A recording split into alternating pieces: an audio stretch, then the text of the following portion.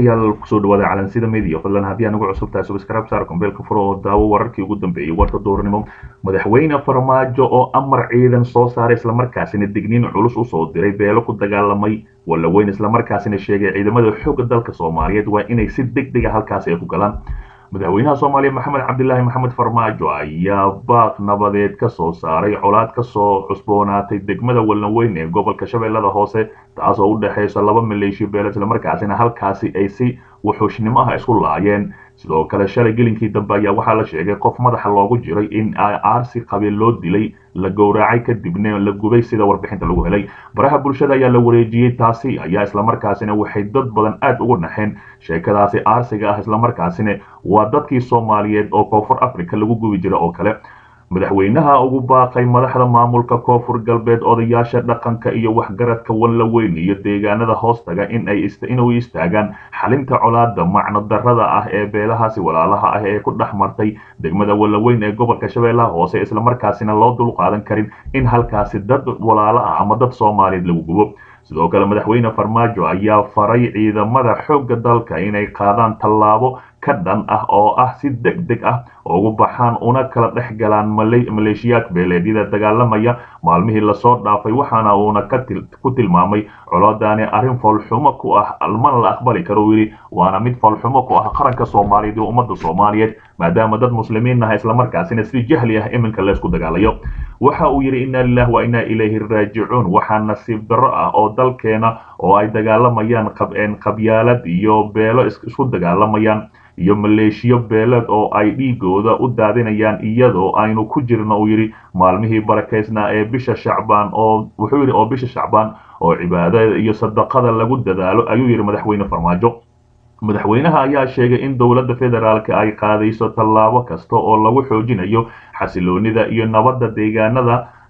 deegaanada ay dhibaatadu ka dhacday iyada oo la dirayo guddi soo baara. Dhibaatada ka dhalatay sida lagu sheegay qoraal ka soo baxay xarunta madaxtooyada ee villa soomaaliya islamarkaasina uu ku xusan yahay madaxweynaha soomaaliya ugu dambeyntii madaxweynaha ayaa tacsi u diray dhammaan eheladii qaraabadii ay ku geeriyoodeen dadkii birimageytada aheyd ee ku naf waayey colaada isagoo caafimaad u rajeeyey intii ku dhaawacmatayne dagaaladaasi oo maalmihii la soo dhaafay ka dhacay gudaha degmada walnaweyn iyo daafaha magaaladaasi. Si kastaba ahaatee madaxweyne farmaajo ayaa amarkaasi ciidamada siiyey islamarkaasina sheegay ciidamada qaranka waa inay si deg dega halkaasi ku tagaan islamarkaasina ay waajibaadkooda gutaan ay kala dhexgalaan. Si kastaba ahaatee halkaasi ayaa waxaa la yidhi sagaal qofood ayaa beel laga dilay beeshii kalena ayaa soo duushay islamarkaasina dad carruur iyo haweena inay qabteen xerxereen kadibna qaleen ayay gubeen sida warbixinta lagu helay tii ugu darneyd ayay ahayd shalay kilinkii dambe markii nin madaxa loogu jiro ay qabteen islamarkaasina ay si fuxuushnimo ah u dileen ama qoorta ay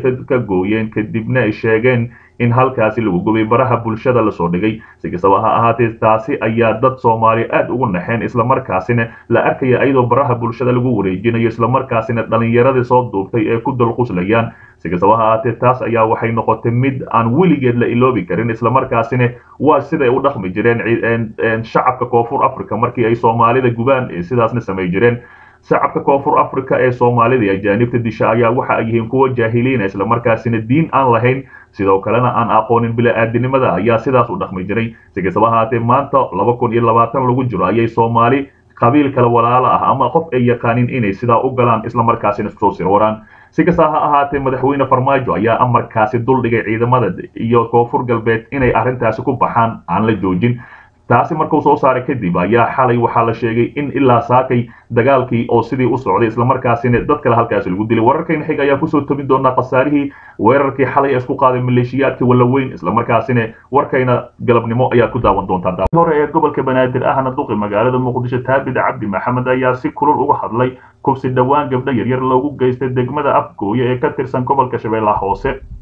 master taabid cabdi qoraal uu soo dhigay bartiisa rasmiga facebooka. Waxa uu ku cambaareeyey falkaasi isaga oo sheegay in haddii aan falkaasi loo istaagin ay noqon doonto cuqubo ay dad badan oo saamayn doonto islamarkaasina dalka u saamayn doono waxa uu yidhi si adag ayaan u cambaaraynaynaa afduubkii iyo kufsigii. Wuxuushnimada ahaa ee loo geystay gabdho carruur ah oo da'doodu tahay saddex ilaa afar jir. Ee ka dhacay degmada afgooye waa cuqubo na wada saamayn doonto haddii aanan loo wada istaagin. Falkan bini'aadinimada ka baxsan ee in muddo ah soo noqnoqday ayuu yidhi taabid cabdi. Sidoo kale david cabdi waxa uu ugu baaqay inay ka hadlaan tacadiyada ka dhanka ah haweenka ee kufsiga ah sidoo kalena dowladda soomaaliya iyo maamulka koonfur galbeed inay baaris ku sameeyaan arrintani. Culimmada waa inay si mug leh uga hadlaan tacadiyada ka dhanka ah haweenka oo kufsiga ka mid yahay dowladda federaalk iyo maamulka koonfur galbeed. Waa inay si aan kala har lahayn arrinkani baaris ugu sameeyaan islamarkaasina ay soo qabqabtaan raggii wuxuushnimada geystay wasaaradda haweenka ee xukuumadda soomaaliya iyo wasiirka warfaafinta maxamed cabdi xayir maareeye ayaa si adag ayaa ayaa si adag waxa ay horay uga hadleen kufsigani islamarkaasina sheegay in laamaha amniga ay dhammaan dhammaanba soo qaqaban doonaan raggii kufsigaasi geystay islamarkaasina diirka la keeni doono dhinaca kale buuq ka taagan puntland iyo saciidani oo go'aankiisa la sugayo islamarkaasina la doonayo inuu karti sameeyo. Warar hoose oo la helayo oo ku dhow madaxweynaha puntland saciidani ayaa sheegaya in ay ku adkaatay afar iyo labaatankii saac ee la soo dhaafay inuu ku dhiirado isku shaandhaynta golihiisa wasiirada agaasimaha guud iyo taliyayaasha ciidamada amniga xogta waxay sheegaysaa in shakhsiyaadka sheegtay in ay leeyihiin ayna leeyihiin qalinka saxiixa madaxweynaha uusan go'aankooda diidi karin ay bixinayaan dadaal kasta oo ay kuraasta ku hayn karaan wasiirada agaasimaha iyo taliyayaasha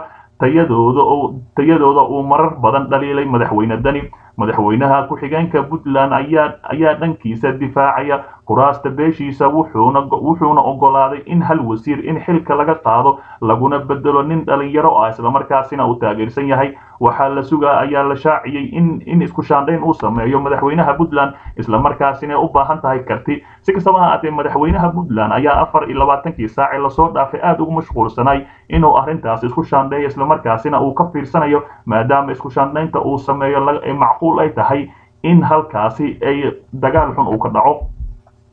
dhinaca kale guddoomiye cismaan barre oo baaq u diray laamaha amniga hirshabeelle waa guddoomiyaha hirshabeelle ee maamulkaasi.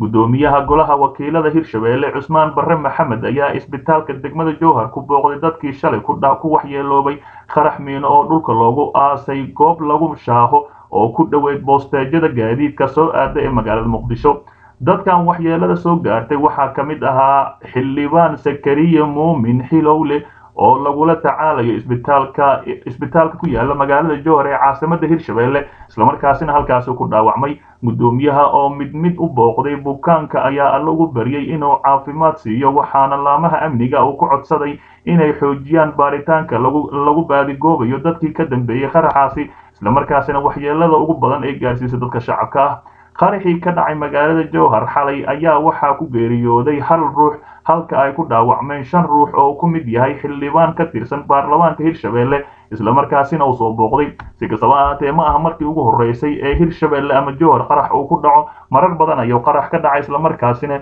sidaanoo kale ilaa iminka lama soo qabanin. Dadkii halkaasi ka dambeeyey qaraxa. Wasaare khayre ayaa si qarsoodi telefoon kula hadlay islamarkaasina doonaya inuu kula kulmo magaalada adisaba ee dalkaasi etoobiya muuse bixi cabdi. Haddaba fadeexad culus ayaa soo baxday warar hordhacaya ka soo baxayo taasi oo farmaajo aada ugu carooday. Wararka waxa ay sheegayaan in saacado ka hor oo qabka telefoonka ku wada hadleen madaxweynaha somalilan muuse biixi cabdi ra'iisul wasaaraha soomaaliya mudane xasan cali khayre islamarkaasina ay ka wada hadleen arrimaha arrimaha wadahadalka somalilan iyo soomaaliya islamarkaasina ay doonayaan inay ku wada kulmaan magaalada adisaba ee dalkaasi etoobiya inkastoo xafiiska biixi iyo khayre midna war ka soo saarin wadahadalkaasi haddana ilo muhiima oo lagu kalsoon yahay ayaa sheegaya in saacado ku dhowaad ay wada hadlayeen islamarkaasina ay ka wada hadleen arrimaha horyaala oo ah somalilan iyo soomaaliya islamarkaasina caqabad xoogan ee kala haysato. Saddexdii sane